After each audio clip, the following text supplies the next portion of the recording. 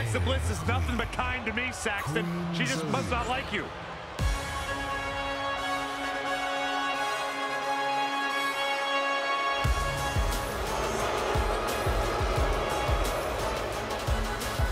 And from Queens, New York, Queen Zelina. Winner of the first ever Queen's Crown Tournament.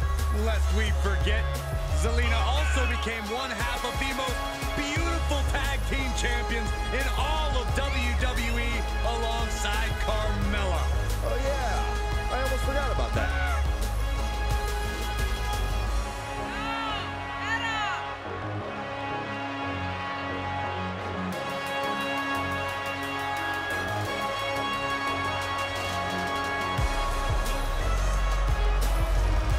She may be diminutive in size, but Zelina is a master strategist.